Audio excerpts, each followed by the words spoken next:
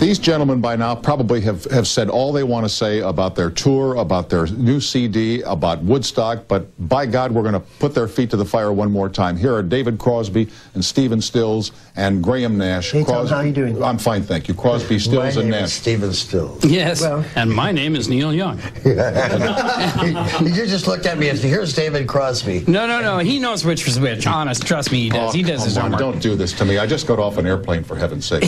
you just got off the Greg Kinnear show. Yes. Yes. We did. And- great. Funny man. Uh, and, and you're in the middle of your tour, which I hear is going smashingly, and you're just back from Woodstock. Right. We've, we've had a hell of a summer, Tom. Yes, you All have. these things. Obvious question.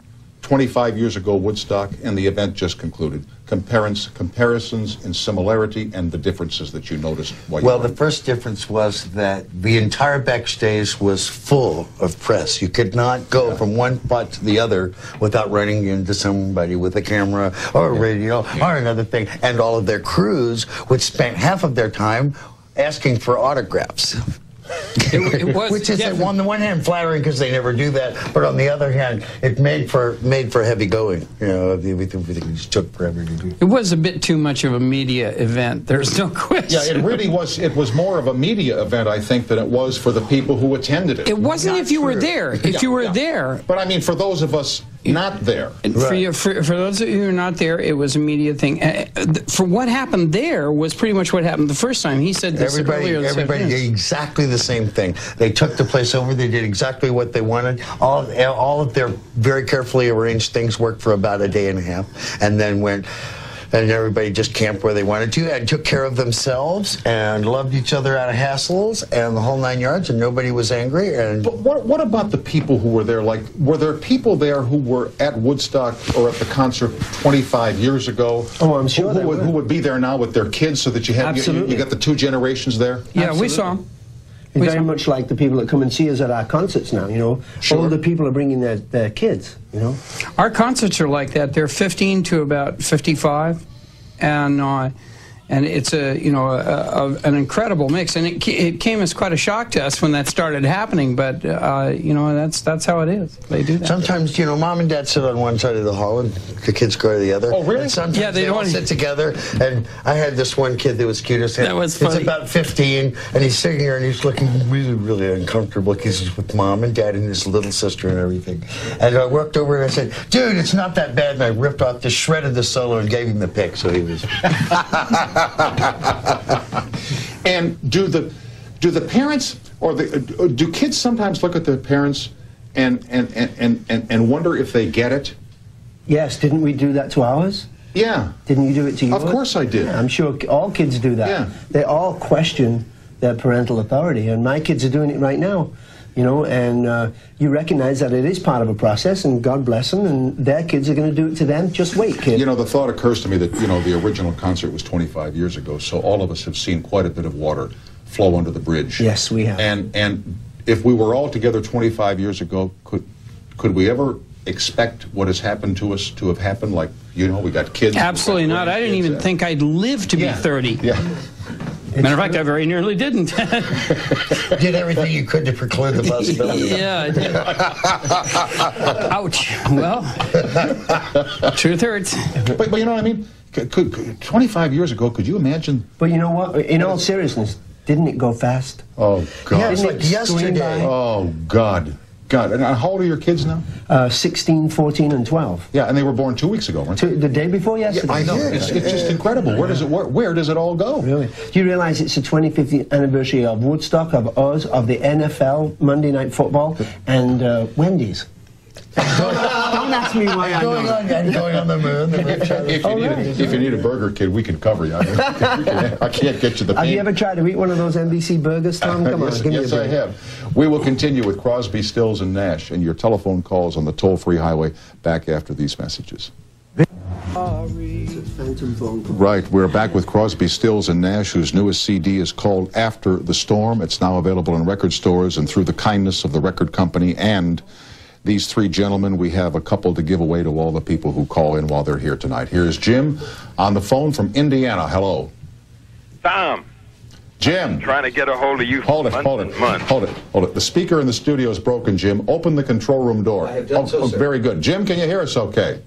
I can hear you. Okay, that's great. Hey, Jim. Hey, how you guys doing? Fine. What's your question? Well, I was curious as to when you played Woodstock 94, if it felt as magical as it did the first time, or did it feel like just another concert? No, it felt better to me because we were completely stoned out of our mind the first time, and this time we were very clear. Well, I was I was straight for the first one, at least until the concert. I definitely over. was not. So Yeah. Makes a big difference, Jim. Stay straight. Yeah, well, I, I know the difference. I've I'm been, sure you do, my friend. All right, Jim, stay on the line here. We'll get your address and send you the uh, the copy of the CD, okay? Okay, Tom, All right, love your terrific. show. Leave the door open because if the door closes, we can't hear the phone We're dead. calls. We just I can't hear this him anyway. I'm half deaf. All together. So unless they Tom, do you know thing. that there is there are is a you? guy crawling around behind the chair? Not chair? a guy. My eyesight. Let me look a little more closely. Right, you are, Tom. so, how can you perform when you're stoned out of your mind? Um, because you just concentrate on the music. Yeah. That's why I, I have very few memories from the first Woodstock because we were so locked into each other and locked into what we were playing and the tuning of the guitars and stuff that uh, you can do that. But but you just don't see everything. And this time we saw everything. And plus, You we know- played in the afternoon, which is which is just fabulous, you know. And it just, uh, you know, I mean, that tremendous mass of people, all that energy, and all that Yeah. great spirit, and even the mosh pit was cool, you know. Do you know Also, what- it, do you it depends on what you're uh, uh, uh, it depends on what you're stoned on too. If you're smoking uh, some herbal Grass. substance, that's one thing. You know, if you, you know, I I never could play on acid. The guitar was three feet thick, and the strings were made out of rubber, and I, uh, and we were all on different songs. What were you trying to do to yourself, for God's sake? Oh, I don't know, expand my consciousness. I think. And and did you finally just leave it behind you on the trail? I mean, do you use that stuff anymore? Or? No. I think that when David was, was quitting heroin and cocaine in solitary confinement in a Texas jail, that can whop you upside This, the this head. would get your attention. Yeah, Yeah, that's what happened. Yeah. Hello. Texas Department of Corrections said, "Hi, this is your wake-up call." You probably didn't laugh about it at the time. No, not a no, bit. not at all. Not a bit. Debbie in North Carolina. Hello. Hi, Tom. How are you, Debbie? Let me open the door, honey, so we can hear you. Go ahead, Deb. Oh, I love your show, Tom. Thanks, Debbie. Um, and I love the love Crosby, Stills, and Nash. I was wondering um, if David enjoyed his stint on Larroquette. It was absolutely wonderful.